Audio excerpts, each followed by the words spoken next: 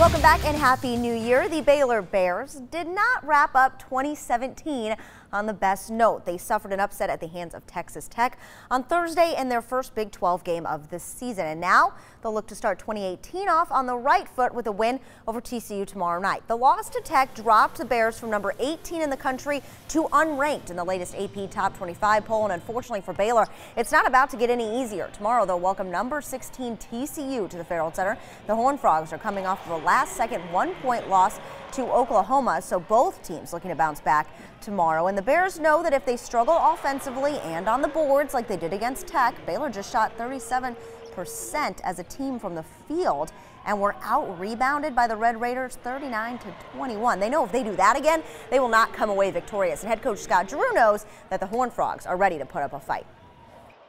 They'd won what 17 in a row before losing at the buzzer the other day. So uh, it's a team that we knew was going to be very good this year, uh, and like most Big 12 teams, um, they rebound really well. So we got to do a lot better job on the glass than we did last game.